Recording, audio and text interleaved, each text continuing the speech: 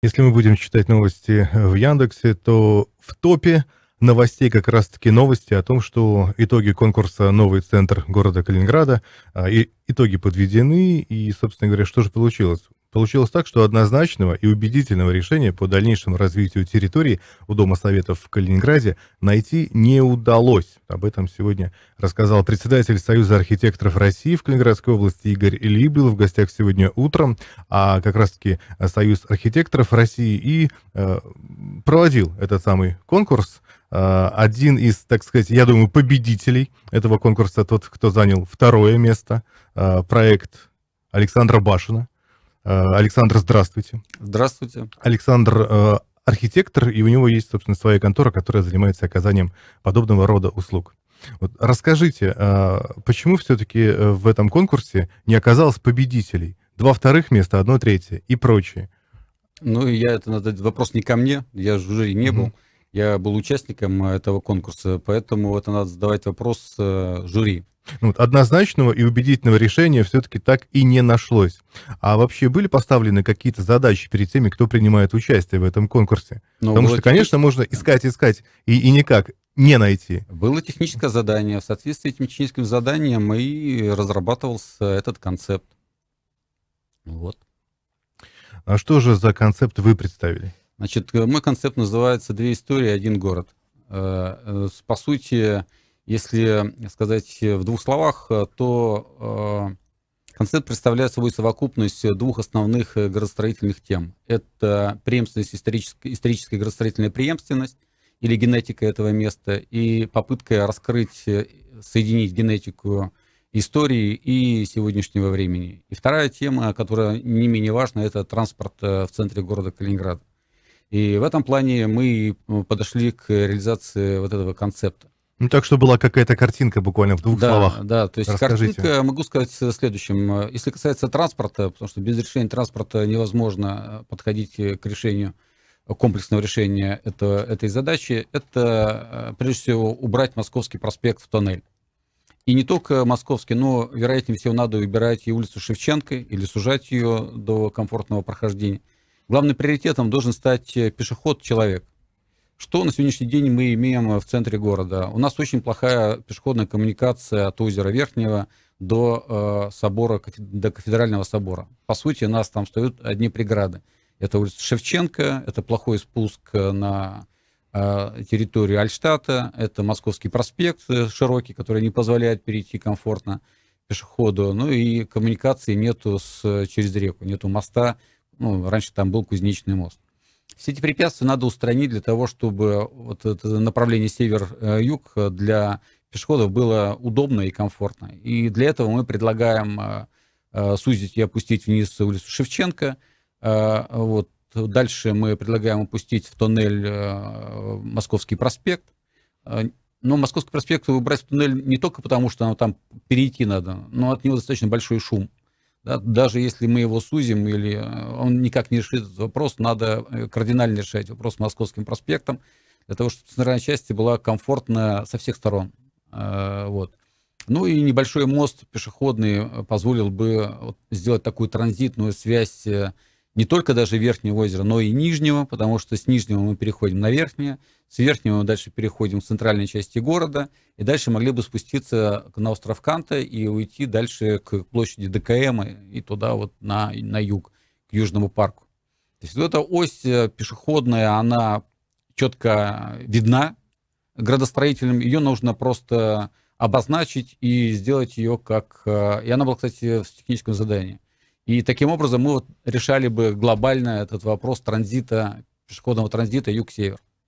А, презентация вашего проекта, она на 140 листах вы мне показывали до эфира. Действительно, да. есть чего почитать, есть э, что посмотреть. И вы еще говорите, что там учтена так называемая генетика места. Да. Вот что это такое? Значит, мы перед тем, как начать проектировать, делали исследования свои. Ну, и не только свои, но мы изучали исследования а, Попадина, Васютина, был целый проект историко-культурного обоснования вот этой территории, я его изучал, и что там важно?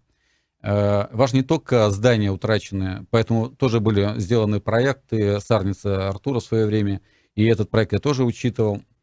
Но были утрачены городские пространства весьма интересные, которые на сегодняшний день могли бы оживить эту территорию, ну и снова вернуться в городскую, в городскую структуру. Ну, такой сквер, например, как «Война и мир», да, который открывал пространство перед Королевским замком.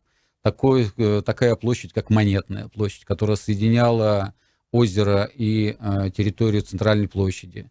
Э, замковая площадь. В данном случае мы ее раскрываем, она была закрытая, а мы ее соединяем с Монетной площадью, открываем эти пространства. Дальше Рыбная площадь, которая была на около э, э, на Преголе, да, то есть это все возможно было бы, ну, если не воссоздать, но эти пространства учесть в, в градостроительном концепте. Но я напомню, что Наш гость э, был э, когда-то главным архитектором области. Александр Башин был э, главным архитектором города Калининграда. Поэтому вы знаете очень хорошо историю города Калининграда. Но, кстати, в этом конкурсе участвовали не только калининградцы. Вот если калининградцы радеют за генетику места, то такие люди, которые, допустим, живут в северной столице, где-то еще в Москве, ну просто приезжают и что-то предлагают. Я, допустим, помню, как КБ «Стрелка» Э, предлагала какой-то проект, который, который бы э, был, который бы рассчитывал, допустим, следующую вещь, чтобы просто приходили калининградцы возле э, дороги на Московском проспекте, клали какие-то вещи свои, и как на лужайке это было бы что-то подобное для пикников. Возле речки как раз, вот в их понимании это, в принципе, все в порядке, да, то есть одна из самых грязных рек России, и плюс ко всему еще проспект, там, пожалуйста. Вот э, какие-то такие, какие такие умопомрачительные проекты, да, какие-то элементы э, очень часто прилетают в адрес Калининграда. Вот как вы думаете, вообще имеют ли право участвовать в, в подобных конкурсах иногородние? Да право-то есть у всех. Э, другое дело, что э, э, чего нету в городе Калининграде. Угу. В Калининграде нету исторического центра, а он разрушен. Сейчас э, центр перемещен в сторону площади Победы. Э, он там никогда не был. Это была ярмарочная площадь, э, вот это, по сути, был уже пригород, потому что центральная часть была всегда в районе, где сейчас был, есть Дом Советов. Федеральный собор, вот остров Канта, э, Альштадт, Новый город, Нойнштадт или Любенихт. Вот это центр города. Вот. К сожалению, и за последнее время мы так и не уделили серьезного внимания развитию центральной части города. Но есть... об этом уже разговор-то идет э, не да. одно десятилетие. А вообще, вот до, замок, э, замок это замок, дом советов это дом советов. По-разному к этим вариантам относиться можно, но тем не менее они были. Дом советов уже, кстати, мы считаем как утраченный э, какой-то сюжет из жизни Калининграда или еще нет? Я думаю, что он уходит. Уходит вот. уже, да? Но, а, смотрите, да. и замок, и Дом Советов — это визитная карточка своеобразная, да? Ну, а были, вот какой она должна быть вот на этом месте? Значит, мы предлагаем э, решение этих вопросов. Э, вот, э, Дом Советов мы полностью игнорируем. Вот, а на территории, замковой территории мы предлагаем сделать центральную площадь города. Причем сделать ее замкнутую. Почему замкнутую? Прежде всего потому, что у нас климат такой, у нас очень сильные ветра, и открытые площади, они некомфортны для горожан. Слишком дует, вот. Поэтому мы а, предложили сделать замкнутую площадь, совершенно сделать ее современную, какую-то часть этой площади отдать под археологический музей, а, сделать ее, этот археологический музей закрытый, ну, его немножко адаптировать к современности, да, то есть там добавить какие-то, а, ну, может быть, рестораны, магазины там и так далее, чтобы это было не просто раскоп, да, потому что он не как практика показала, для горожан – открытая площадка археологическая, она неинтересна. То есть туда как бы люди не сильно э, двигались в эту сторону. А мы предлагаем все-таки ее оживить, э, сделать ее каким-то видовым, подсветить и закрыть полностью, и там же добавить, э, сделать ее многофункциональной, да, добавить туда жизни, ресторанов, вот баров, все такое. Значит, кроме этого, в эту же часть мы предлагаем восстановить вертикаль где она и была. Она была не случайная, она держала все оси э, этой территории, но сделать ее современной, модной, э, наверху... Кстати, именно про это я и хотел спросить. Мои товарищи э, и коллеги из северной столицы сейчас туда приезжают, но так получилось, что новость про демонтаж э, современные доминанты центральной площади прилетело уже всю Россию, я говорю сейчас о Доме Советов, но они говорят, ну вот что будет, что будет? Ну, скорее всего, типа что-то наподобие лахта-центра, как у нас. А как вы думаете, вот, ну, как доминанта, в принципе, в Калининграде? Не, Петербург же Лахта-центр, я только что был вчера, кстати, в Петербурге, mm-hmm. вот, Лахту-центр отнесли в сторону, достаточно далеко mm-hmm. от центра города, она сейчас никак не влияет на... Ансамбль. Да, сказать. и она современная, модная и так далее, она создает новую, новую характеристику, новую вертикаль Санкт-Петербурга, и это новая жизнь, новые территории. Что-то подобное у нас на центральной площади у нас вообще какая никак, была да? затея? А, ведь когда мы разрабатывали а, остров Октябрьский, мы предполагали, что историческую часть города мы оставим э, для вот этой генетики, да, там, создания какой-то генетической основы, а остров будем использовать под современное здание. Александр Башин, архитектор, в прошлом главный архитектор Калининградской области и города Калининграда. Одно из последних творений — это лифт в Светлогорске. Мы видим, это все ваше ваших рук, так сказать, так, точно. Э, дело. Как эксперт, э, скажите мне, пожалуйста, если мы говорим о, централь... о центральной площади города, о ее будущем, если мы гипотетически да, предпо... будем предполагать, сколько вообще может занять демонтаж Дома Советов? Я знаю, что в Китае да, там могут больницу построить за две недели, если очень нужно, и что-то э, собрать, что-то разобрать. Но в наших условиях о каких строительной, строительной технологии, да, то это месяц-два, а, может, с этим можно справиться. Потому что многие думают, что если будут разбирать Дом Советов, то это грязь, стройка в центре города на долгие годы. Слушайте, ну я вот жил в Шанхае, пока э, там две недели как-то с Артуром Сарницем летали туда. А, вот. А, там, пока мы жили, здание построили 40-этажное. Э, Поэтому технологии сейчас развиваются весьма быстро. Но То, Шанхай что... это самый развивающийся город мира. Ну, так, а, это же, как говорится, это не на, не на Луне, это же не, совсем недалеко. Ну, Дом Советов ближе, конечно да. же. Ну, мы отстаем, к сожалению, э, вот в развитии э, и в градостроительном, и в технологическом, но это наша беда, но э, тут нет ничего такого, тут можно спокойно, спокойно, быстро mm-hmm. это все сделать. Ну вот, э, к примеру, э, в Союзе архитекторов Калининградской области предположили, что где-то год потребуется, чтобы снести Дом Советов, да? Давайте ну, будем думать, что это год. А конкурс очередной прошел по э, центру города Калининграда, новый центр города Калининграда, победитель так и не найден.